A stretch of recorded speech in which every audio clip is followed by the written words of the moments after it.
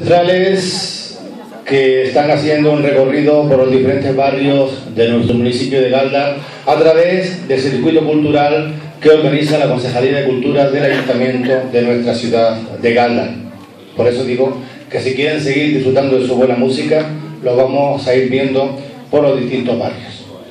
Señor alcalde, señoras y señores concejales, distinguido pregonero, señores presidentes y miembros de las juntas directivas, invitados e invitadas, señoras y señores, compañeros de los medios de comunicación, Noroeste Televisión, Gallar al Día, Norte Visión, al igual que el compañero Juan Vega Molina, a todos y a todas, amigos y amigas, bienvenidos a esta velada. Ya Marmolejo huele a fiestas y no cabe duda que ha llegado febrero. Ya vemos las calles engalanadas, llenas de colores, aromas, luces y celebraciones. Ya cada rincón de Marmolejo es un punto obligado de encuentro para residentes y forasteros que con mucho entusiasmo van a disfrutar de unos merecidísimos días de holgorio. Como también ya se prepara el alfombrío de sus cálidos paseos para acoger el día más esperado del año, el día donde fieles y peregrinos que acompañan a la Virgen van a rendir tributo en la magna y solemne procesión a Nuestra Señora y Madre, la Virgen de Lourdes. Señoras y señores, y es que ya comienza el bullicio. Esta noche, aquí y ahora, tenemos como cada año una cita ineludible con su ya tradicional pregón anunciador de las fiestas que marcará el arranque de esta emotiva celebración. Para que todos en esos días estemos en armonía, seamos amigos y disfrutemos en solidario afecto, don Ancor Bolaños Delgado, concejal de Actividad Física, Deporte y Salud del Ayuntamiento de nuestra ciudad de Galda e hijo muy querido de Marmolejo, será el encargado de invitarnos a esas fiestas en honor a nuestra Madre y Señora la Virgen de Lourdes, la Virgen de su Marmolejo. Para escuchar su presentación, invitamos a que nos acompañe en este escenario a doña Maripino Vega Ramos, pregonera de las pasadas fiestas. El cariñoso aplauso.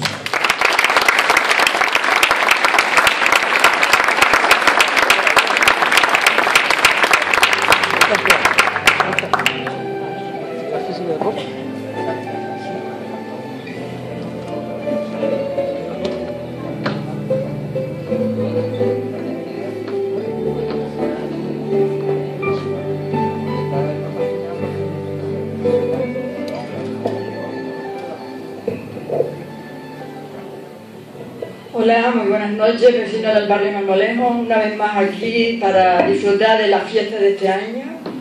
Parece que fue el otro día cuando subí aquí a, decir el pregón y ya, mira, este año te toca a ti, Ancor.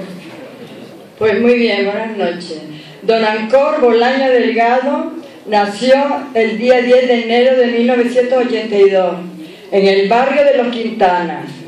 Actualmente tiene 37 años hijo primogénito del matrimonio formado por don Antonio Bolaños Medero y doña Dora Delgado Mateo. Tienen un hermano llamado Yerko y un hijo de tres años llamado Adiel. Su infancia y juventud ha estado ligada a los barrios de San Isidro y Marmolejos, de donde procede su familia. Cursó sus primeros estudios desde los tres años hasta quinto de GB en el Colegio de Jesús Sacramentado. Cuando iba a cursar sexto, le matriculan en el Colegio Público San Isidro y posteriormente pasó a realizar sus estudios de formación profesional en técnico superior de electricidad en la rama de comunicación del Instituto IE Roque Mauro. Es un apasionado de los animales y del deporte, Actualmente practica fútbol. Trabaja como electricista en la empresa de don Félix Santiago Melián. Su vida política se inicia en 2015, cuando eh, se presenta, lo, invitaron y él, claro, aceptó eh, en el número 10 en las elecciones municipales con el grupo político Bloque Nacionalista Rural. Desde entonces ostenta la Concejalía de Actividad Física, Deporte y Salud del excelentísimo Ayuntamiento de Galta. Esto es la pequeña historia de Ancor.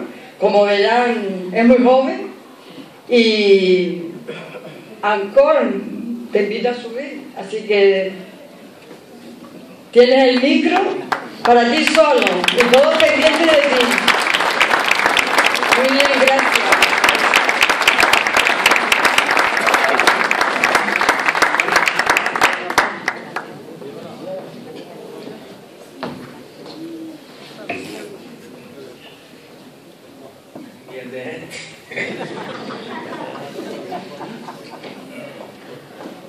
Señor alcalde, compañero de la corporación municipal, señor presidente de Junta Directiva de la Asociación de Vecinos del Bermejal, presidentes de las diferentes asociaciones de vecinos, familiares, vecinas, vecinos, amigas, amigos, público en general, muy buenas noches.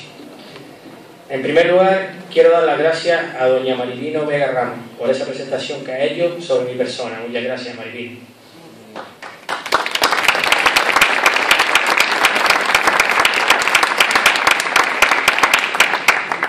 Si tú llegas a saber lo que odiaba ir a tu casa por las inyecciones, no hubiese subido esta noche aquí. Un año más, este barrio se engalana para celebrar las fiestas en honor a Nuestra Señora de los Hoy me ha tocado a mí ser el pregonero de la misma, por lo que siento un enorme honor y un gran orgullo. Lo que agradezco a la Junta Directiva el detalle que han tenido para conmigo, aunque he de aclarar que cuando Victoriano me llamó para ofrecerlo, me quedé en la duda y pensé lo mismo que cuando el alcalde me ofreció ser miembro de su candidatura. Tampoco habrá gente en este barrio para ser pregonero y se acuerdan de mí. Pero a las dos semanas tras una nueva llamada le dije que uno tenía que ser y que contara conmigo. Al señor alcalde le contesté mucho más tarde, no, señor alcalde. Mi vinculación con este barrio es patente para muchos de ustedes, pero también desconocida para otros. Por ello, voy a decirles que formo parte de una de las familias más peculiares del barrio, los Cayorros. Mira.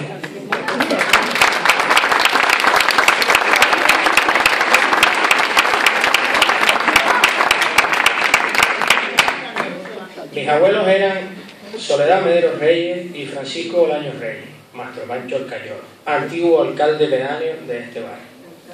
De este matrimonio nacieron diez hijos, Dominga, Pacuco, Anita, Marisol, Bartolo, Manolo, Rosa, Carmelo, Ramón y Antonio. Este último, mi padre, que junto con mi madre, Dora Delgado Mateo, formaron una familia en lo que hemos nacido mi hermano Yerko y yo. Cita fundamental para mí era venir a los papahuevos, aunque lo veía desde la azotea de casa de mi abuela porque le tenía miedo. Y al almuerzo, al almuerzo el día de la fiesta. Pero teníamos que esperar a que terminara la procesión porque mi tía Rosa presentaba los calderos hasta que sonara la traga final.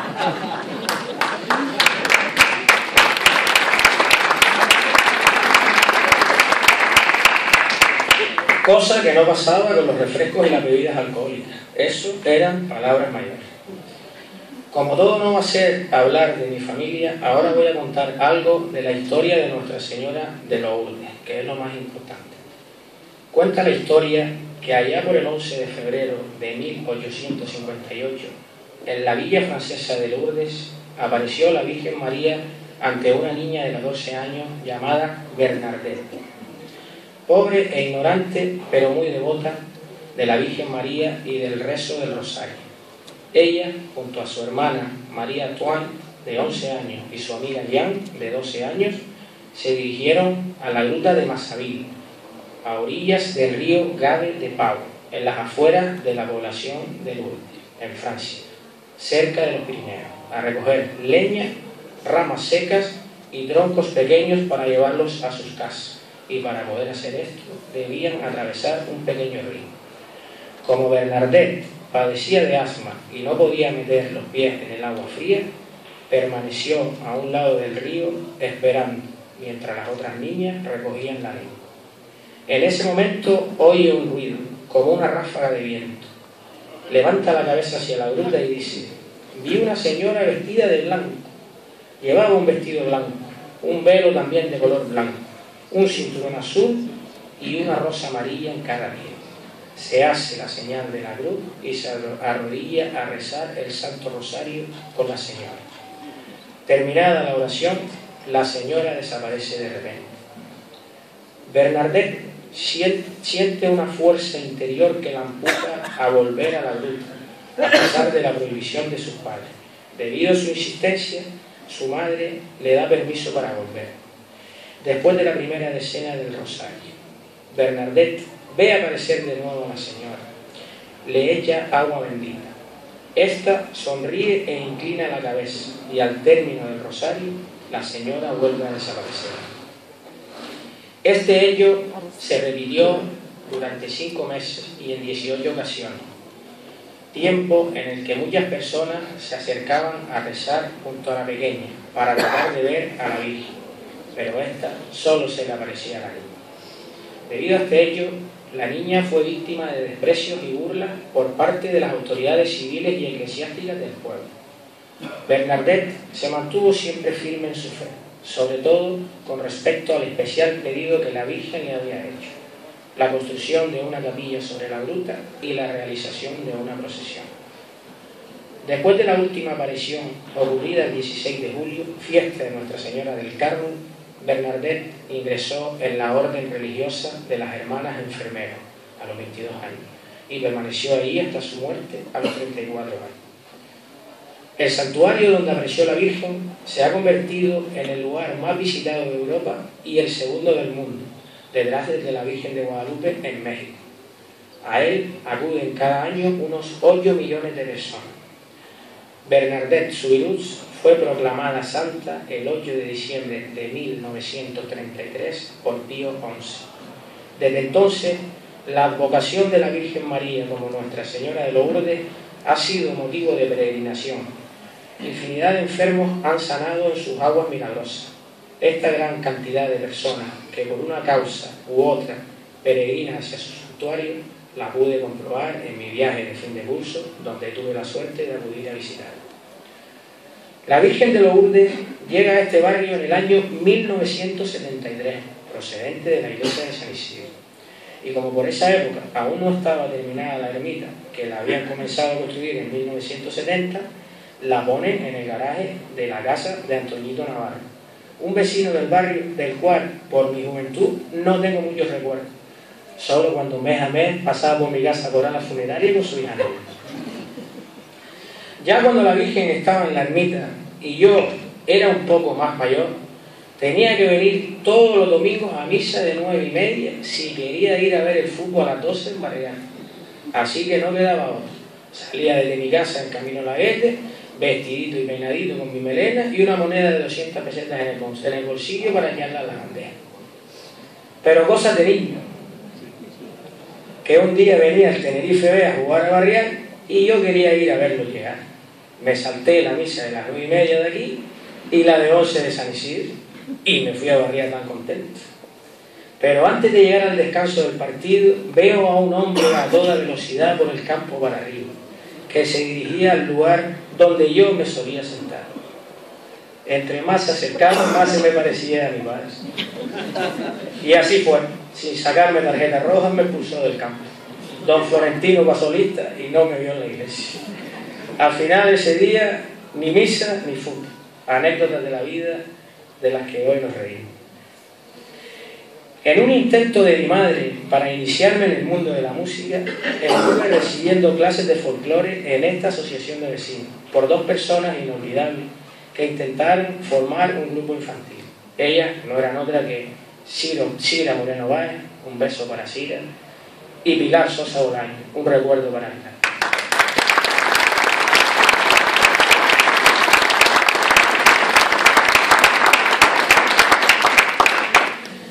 Pero lo mío no era la música, sino el deporte, el cual aún sigo practicando. El más grande de los recuerdos que tengo de este barrio es el trayecto del Lomo Don Tomás hasta San Isidro, casa de mis otros abuelos. Trayecto que día sí y día también recorría primero junto a mi madre y más tarde con la incorporación de mi hermano. Por el camino no faltaba, primero, la mirada a las tierras de mi abuelo, a ver si estaba. Después, más adelante, el saludo a Santiago López, Chagüí, el siempre sonriente Manolillo Godoy y la compra obligada del paquete de picadura para mi abuelo Pancho en el bar tienda de Pepilín. Más abajo, la golosinilla en la tienda de Mela, y así tantas y tantas paradas hasta cruzar por el callejón de Borito Monzón para llegar a San Isidro. Otro de mis recuerdos es la espera que en verano hacía en casa de Bartolito Mendoza y Antonita Rodríguez para poder ir a jugar al polideportivo con su nieto Daniel. Allí nos recogía su padre, Carmelo Mendoza, que junto a otros amigos del barrio participábamos en los torneos de fútbol sala organizados por el Ayuntamiento de Galo. Justo enfrente de su casa estaba la finca de don Antonio Calderín Gil, siendo su encargado el ilustre don José Álamo Seito y su esposa doña Vitorita. En ella y en su pleno apogeo pasé alguna de otra tarde jugando con las que desde pequeño fueron mis cuidadoras, Belén y Rocío Álamo García. A veces molestaba la vaca también, todo hay que decir. Aún recuerdo aquel marmolejo de antes con sus pequeñas industrias, como eran la carpintería de Nicolás y Agustín, la de Pepe Juan Medero, las tiendas de Fosito, Antoñito Mateo, Silvestrito y Elení, los Hierro González, de Pepe y Paco, los muebles tacorontes regentados por Juanito y Carmelo Tacoronte, donde trabajaba mi tía Mari, o la tienda de Milagrosa Mateo en la carretera. En comparación con el marmolejo de hoy, que con sus cuatro grandes edificaciones han dado acogimiento a diferentes familias, unas oriundas del barrio y otras llegadas de fuera, las cuales han podido comprobar la cercanía, humildad y hospitalidad de este barrio valdense. ¿Cómo olvidar lo que a mi entender ha sido y será la mayor publicidad para este barrio? Nada más y nada menos que la creación del Club de Lucha Marmolejo.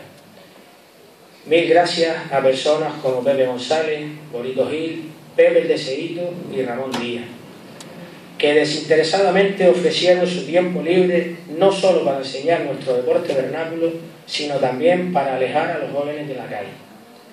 Grandes recuerdos de esas grandes lulladas, no me perdía una. Andresito en la taquilla, Nicolás el carpintero en la puerta, mi tío Carmelo en la mesa, Antonito Jiménez y mi abuelo ocupando sus escaños, las mujeres en el graderío, Maruca, Gema, Pepa, mi tía Rosa, Mari y Conchi, las hijas de Borito, Mesa, Loli, Nieves, las hijas de Lilla, Elisa, la de Ramón, Hortesia, Margarita, la de Pepe Juan, y cómo no, los ultras.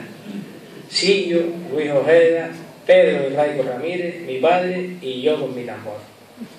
Era como un puzzle que cada día, cada 15 días se formaba sin necesidad de tener que colocar a nadie. Enormes recuerdos de una época importante del barrio, donde prácticamente todos los vecinos paralizaban sus quehaceres para acudir al viejo terreno, siempre bien arreglado y limpio por Emilito Godoy y por un gran amigo mío que ya no se encuentra entre nosotros, como Antonio Ángel Monzón.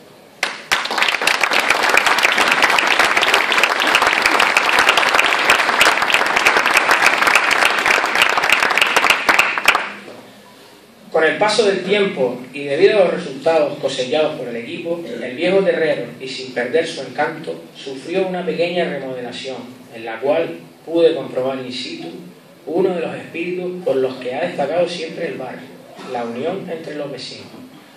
Coincidiendo con la construcción de las casas de tallas, y no me pregunten cómo, Pepe González conseguía tarde tras tarde que abrieran el silo del mortero para poder hacer el llamado gimnasio o vestuario nuevo. Habitáculo por el que trabajaban padres, directivos, albañiles del barrio y todo el que pasaba se paraba y miraba para adentro.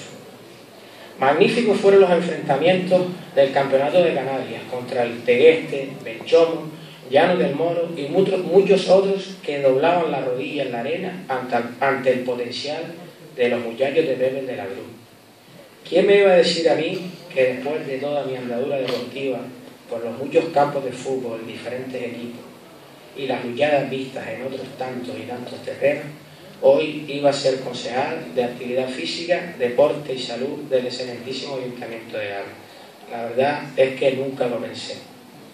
Y sin más, me despido dándole de nuevo las gracias a todos por estar aquí esta noche y reiterar que me siento orgulloso de formar parte de este barrio y pregonar mi vivencia desde mi corazón, a pesar de mis dudas iniciales.